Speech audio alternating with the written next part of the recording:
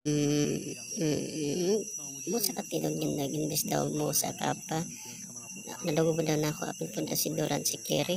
Sa katilog na siya. Di ba scam man na siya mo to mo na. Mm, ang kapa. Di gina scam. Ayaw mo to na sa mga suro-suro sa uban. Kaya nakapiot tabi ako. Mm, mm, mga pinakatuig ko nag patulog anak. Pero si no, piot. Hmm, ta tinuod gina imong giingon nga si Kiri o si Duran. Sabay gabi nagpiyaw dito sa tagom dako namin gipatulog. Mm, basta ginas kam.